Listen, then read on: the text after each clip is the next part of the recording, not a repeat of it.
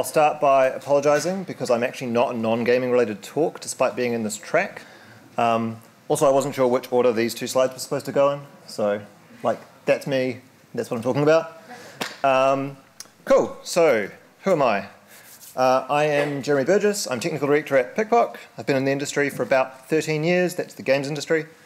Um, I started out my journey of game development at Sidhe Interactive uh, back in 2006.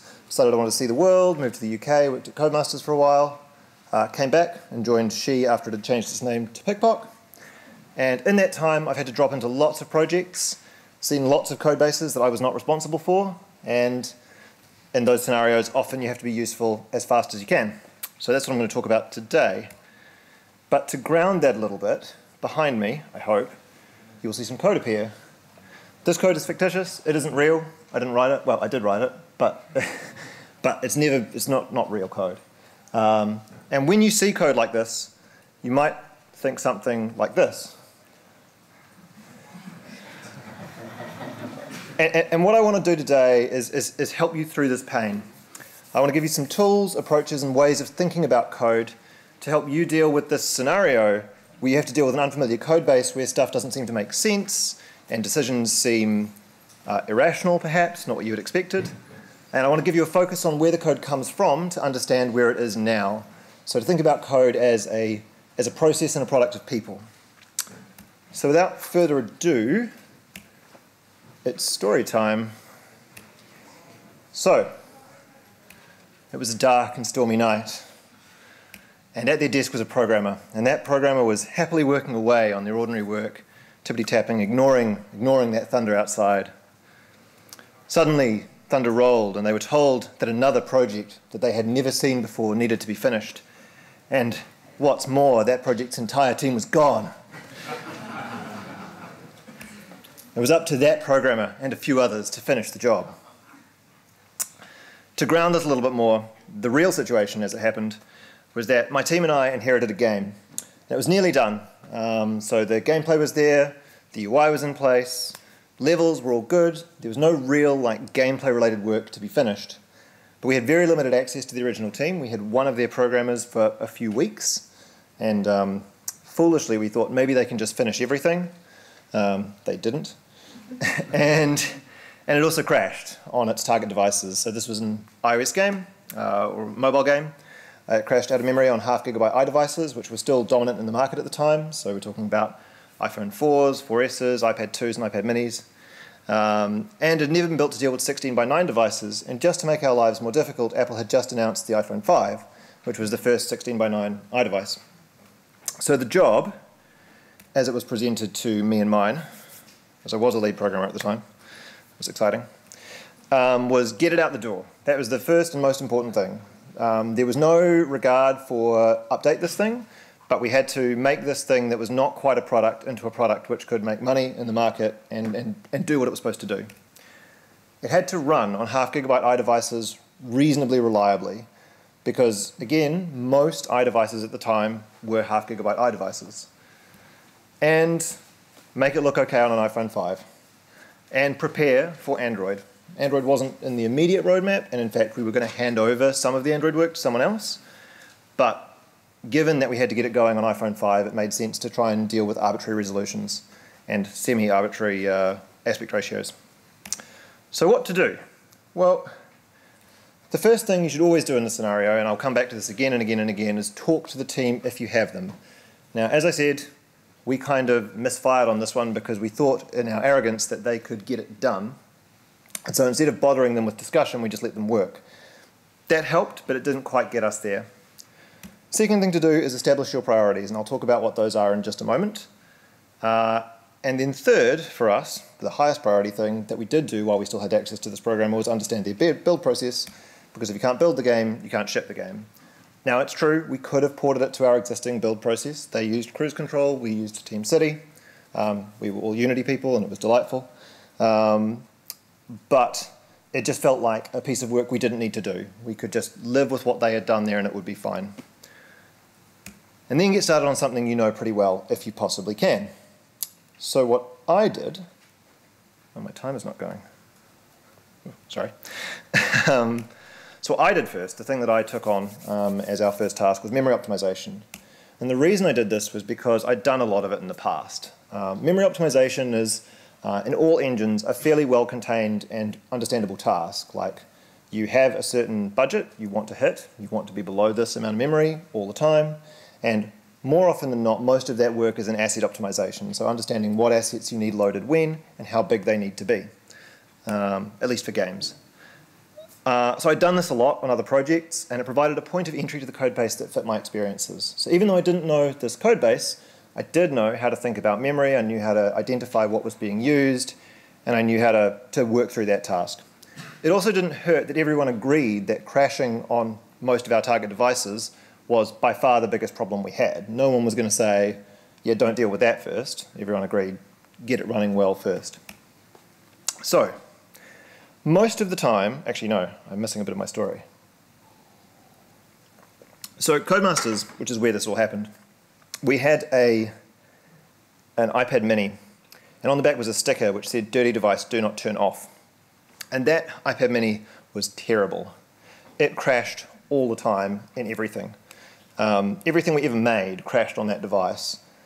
And that was okay, so long as it didn't crash very much on that device. So our gold standard was get the game running most of the time on that device. And, and at this time, when we inherited it, it really didn't. It, it crashed most of the time on that device. But on normal devices, most of the time we were okay. It was only when going into certain big levels that it would crash, or when playing multiple levels in a row. So we were not too far from where we needed to be. We weren't there, but we were close. So profiling was the first port of call. And it turned out that there were some enormous UI textures that, to make things even worse, were atlased even when only one of them was used at a time. So things like loading images, where you would have one loading image. Um, they were in a big atlas of four of these loading images, which meant that you had like a, an enormous texture atlas. Um, and it was just sitting there, and it was very, very big. So I don't know how many of you know the Retina iPad resolution, but it's 2056 by, no, 2048 by 1536 um, which is big. And so if you want things to look native, if you want things to render at a one-to-one pixel size, the textures need to be huge. Um, and so everything had been authored for Retina iPads. So we could easily get away with shrinking them for half gigabyte iDevices, and that was what we did. So before I continue to talk about how we actually did this, there's something to know about this code base. It was all hard-coded, everything. Um, the developers had been uncomfortable with Unity and they'd worked around it whenever they could. Um, so when you opened this project, what you would see is one scene, and that scene was called boot. And you would open the boot scene, and in the boot scene was one object, and that object was called boot. And on that object, you would find one script, and you can probably guess what it was called. yeah. So that proved to be problematic for all sorts of other things that we needed to do, but for this, that was awesome because everything was loaded in scripts. And so all we needed to do was mediate the load, make a few changes to code so that we could work with raw textures rather than sprite sheets and atlases, and away we went. There was a bit of work around making the layout work, especially where we took things out of atlases and where things expected things to be particular sizes and they now weren't always the same sizes. But by and large, this got us to where we needed to be. So we were done. And that was great. But no job is good without learnings. And because I then had to go and do the second part of this, which was getting this to work on 16 by 9 devices, it was important to reflect on what we had learned, or at least when writing this talk, it was important to reflect on what I had learned. So the authors of this codebase had a background in traditional native engines, and I suspect, but don't know, that they had been told they had to use Unity for this project. Um, Ego, the Codemasters internal engine, did not work on mobile at this time. That was still in the works. And so everything that we did on mobile, and the studio that I was part of within Codemasters was focused on mobile, was built in Unity. Um, and that was fine. I was a big, big fan by that stage. Um, and so they'd worked around Unity wherever they possibly could. They didn't want to work with it, so they worked around it. This is important for understanding the other decisions that they made because it has consequences all throughout the code base and all throughout the way they thought about the problems they were trying to solve. Also, they didn't have UI art resource. And so when building their UI, they had done it in a way that worked for them and not for artists. Nothing was in scenes or prefabs, everything was laid out in code. Um, and that, again, very important if you're trying to fix layout related issues. And finally, they had a get it done remit. Um, they had built this game with the goal of building this particular game. Again, they'd been told, I suspect, to use Unity, um, and they had they had not invested in tools, they just worked on getting the game built and functional. And the game was fun. Like, full credit to them, they had built a fun, functional game, which actually did pretty well when it came out. But all of these things had huge implications for how the code looked and how you needed to work with it. So, job two was getting the UI to work on 16 by 9 phones. So, the UI was just as hard coded as everything else. Everything in this game hard coded. It was awesome. Sort of. Um, nothing was laid out in prefabs and scenes, and just to make things a little bit more difficult, there were two systems. So there was one for the HUD and the settings menu that was in game, and one for the main menus, and they were totally distinct. They didn't talk to each other at all. When you loaded into game, you went into this one UI space, and when you came back to the main menus, you were out of it again. Uh, now, my instinct, I will be honest, was, oh my goodness, what have they done? Can I rebuild it? And the answer was no, I couldn't didn't have time, didn't have the budget, and our UI artists who worked in the studio that I worked for were all allocated to other tasks. So we had to make it work their way, and that meant understanding what they had done. So, again, take it in parts. First the HUD, then the main menus. So the HUD worked basically as you'd expect. I don't know how many of you have done UI work, but on mobile, um, where you have to deal with lots of different uh, screen pixel sizes and aspect ratios, it's very common to have a fixed logical resolution in the narrower of the two dimensions. So if you're portrait, you fix the width. If you're landscape, you fix the height. And then you say, for instance, the screen will always be logically 640 pixels high, and the sides will stretch in and out. And so you get this nice behavior where it's easy to lay things out and have things take up the same proportional size within the more limited di direction of the user interface. And the HUD kind of worked that way. It didn't have any respect for super high resolution devices, it just worked with a fixed aspect ratio, a fixed logical, um, fixed logical resolution. But it didn't have any support for anchoring. So the way they had dealt with the fact that iPhones were 3x2 and iPads were 4x3 was by having two layouts. And that was it. And that, that kind of worked for them. But thankfully, this was a fairly easy thing to fix all I needed to do was go through all the elements, make sure they were grouped logically, and anchor the different bits of the screen to the middle, left, right, bottom, or top of the screen, and done. Fairly easy. It worked well enough. There were bits that made that more tricky, but that was basically the task for the HUD. Easy enough. The main menus, on the other hand, were a lot more complicated. So they were built using methods and classes to assist in layout. So again, the code you're about to see is fake, it's not real but it gives you some sort of idea of how this looked. You would have a script for every single screen, and the script would look something like this, because all the screens had to look roughly the same as menu screens do, but they all had their own script that built them. They didn't have any shared componentry at all, they just had code, was the shared way of thinking about it. And then, to make things a little bit more tricky, they used one-to-one -one resolutions. So everything was actually rendered, like in UI coordinates, in the pixel space of the screen. So as the screen changed resolutions, you had more or less pixel space in all directions. So ultimately to work with this thing I had to understand it and then work with it to get things done, which mostly required targeted changes to helper methods to allow them to be a little bit more flexible and to allow them to accommodate changing aspect ratios beyond the two that they had already dealt with. And then go through every single screen and fix stuff that's broken. Now that sounds super laborious, and it was, but under the circumstances, it was by far the lowest impact way to solve the problems we had. And again, you have to remember that our remit was also get it done. We wanted to get this thing out the door, and we had no real intention of ever coming back to it unless it was astronomically successful. And if it was, then that was a different problem. Like it wasn't the problem that we had in front of us then.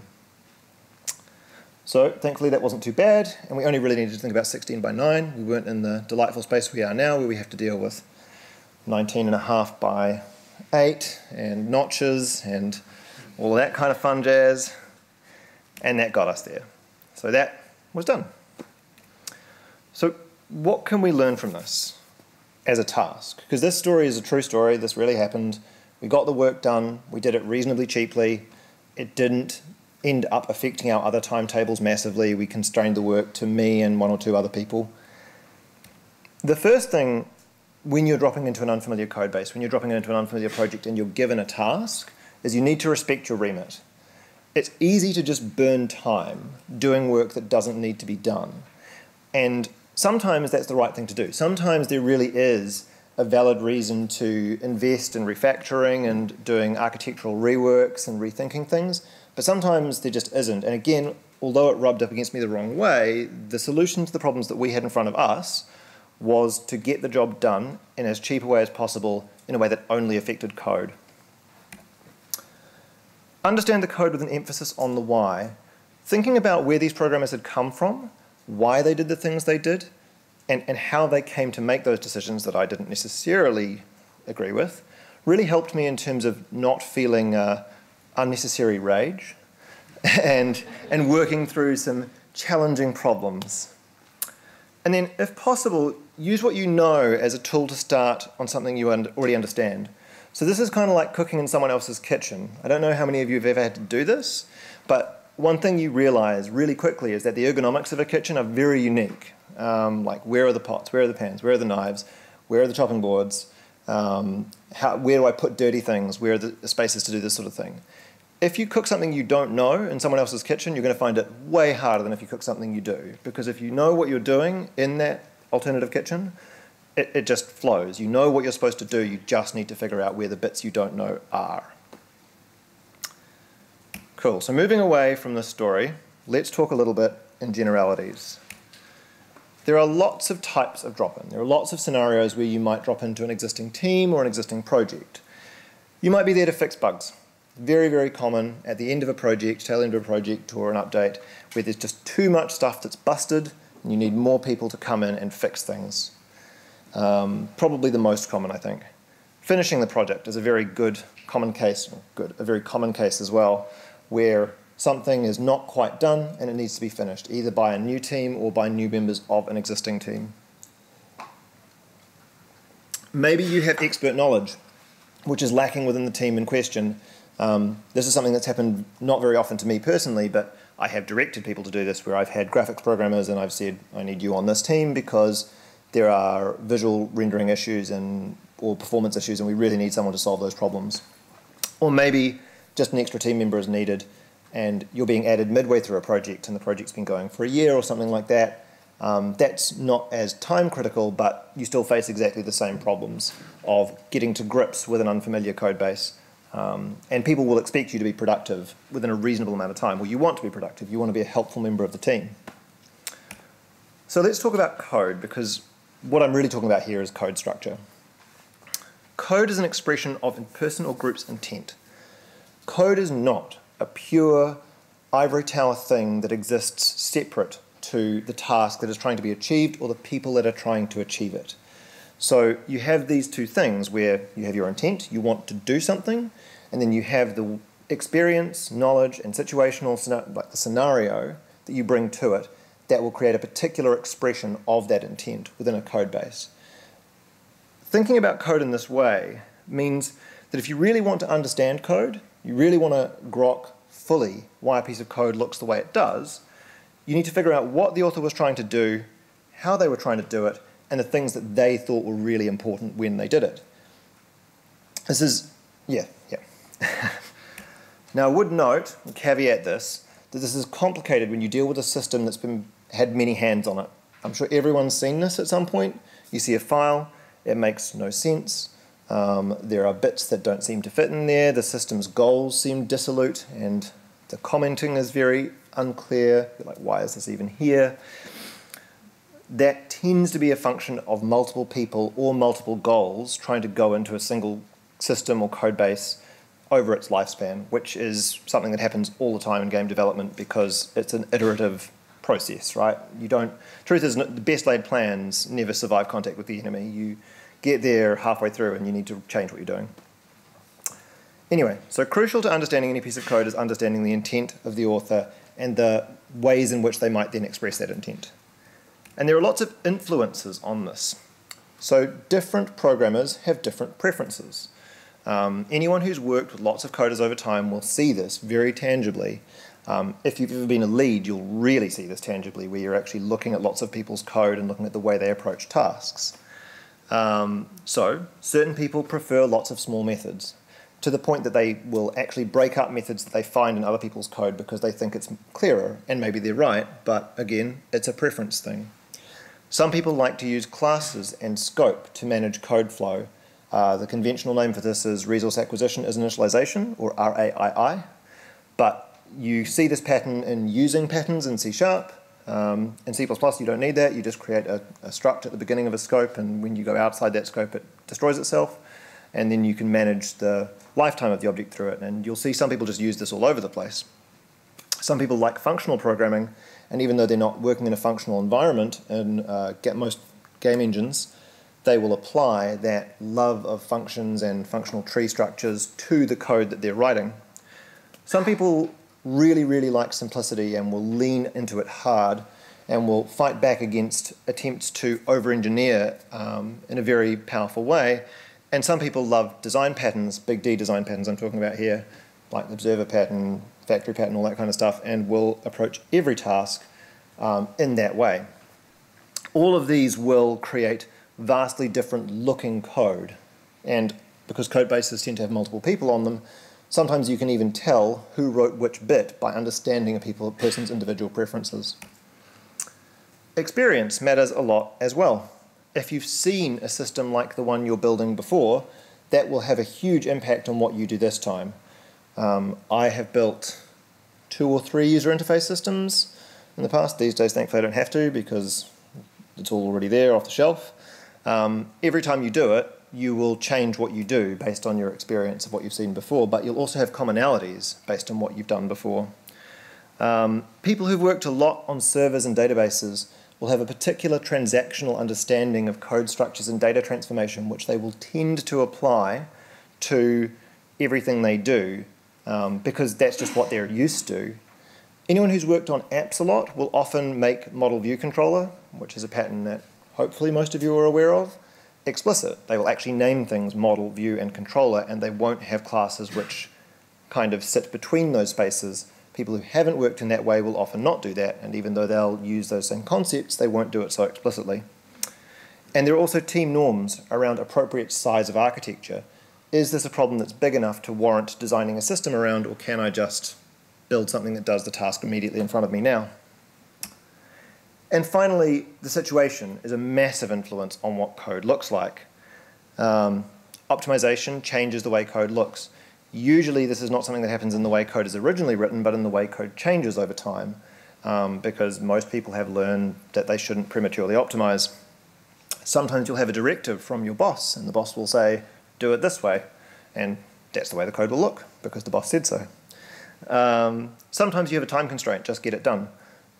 Huge influence on that first story I told was a just get it done remit that both we had when we inherited the code and the original team had when they were producing it in the first place and resource constraints. Again, first example is a great example of this where they didn't have UI, user UI artists, so they built stuff in a way that worked for coders, not in a way that worked for art. So why does this matter? Well, part of being able to read code quickly is to be able to categorize it quickly, to be able to see it and build hypotheses about where it came from and why it looks the way it does, and to try and understand it in the context of those preferences is this something which has been built to fit a particular design pattern? Can that allow me to put it in a framework in my mind so that I can then work with it quickly and understand it in that way? It's also very, very easy to get frustrated with someone else's decisions, but they really did do that for a reason. No one goes out of their way to make your day bad, or at least I hope they don't. Maybe they do. Um, but most of the time, when people do something in a particular way, it's because of the experience they've had, their preferences, the situation in front of them.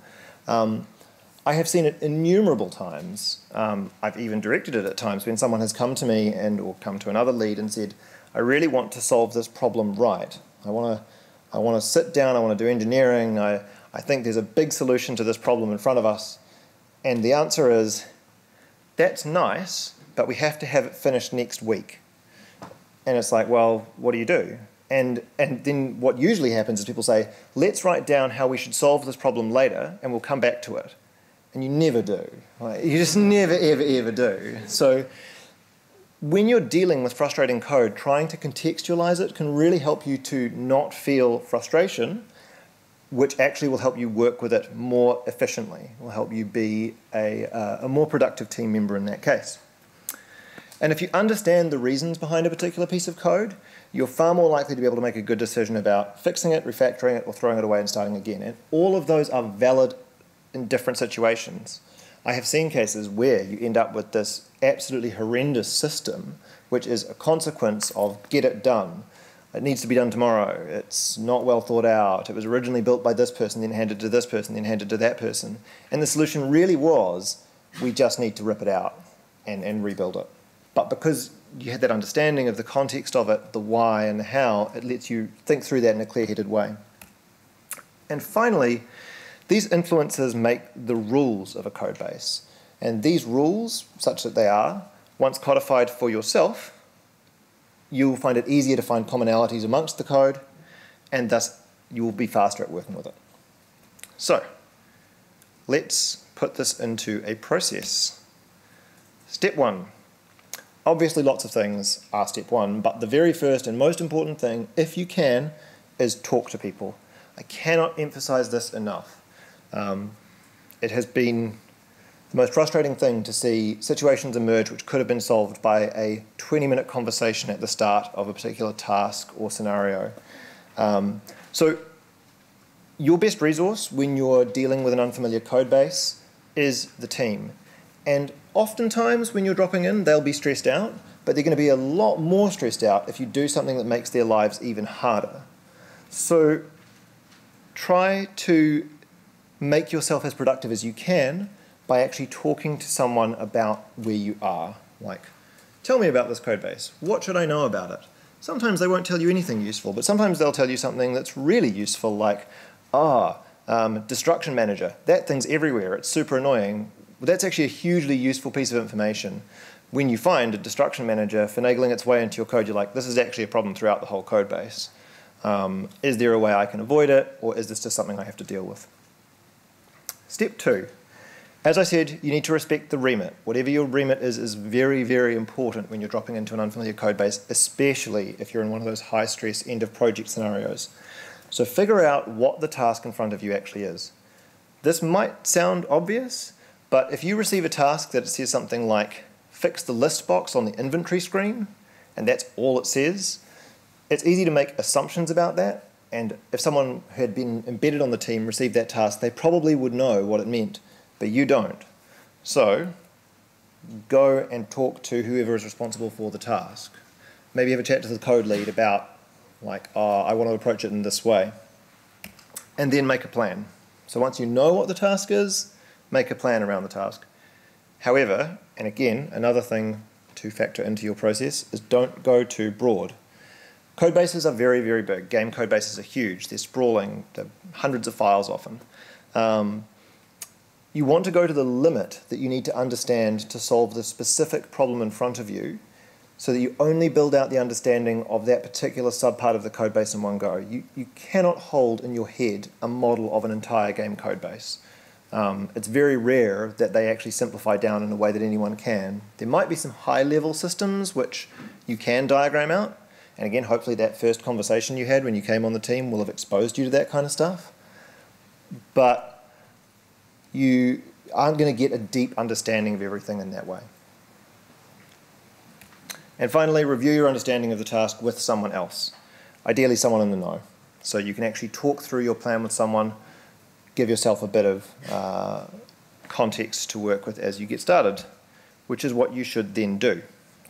Uh, once again, start small, very easy to get overwhelmed, work to the limits that you need to work to and no further when dealing with unfamiliar code.